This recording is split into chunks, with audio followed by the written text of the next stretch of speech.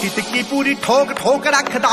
danger ਤੇ ਜਾਨ ਲੈਵਾ ਸ਼ੌਂਕ ਰੱਖਦਾ ਪੂਰੀ ਫੁੱਟ ਦੀ ਬਣਾ ਕੇ ਐ ਮੰਡੀਰ ਖੜਦੀ ਡੱਬ ਵਿੱਚ ਪੜ ਕੇ ਗਲਾਉ ਰੱਖਦਾ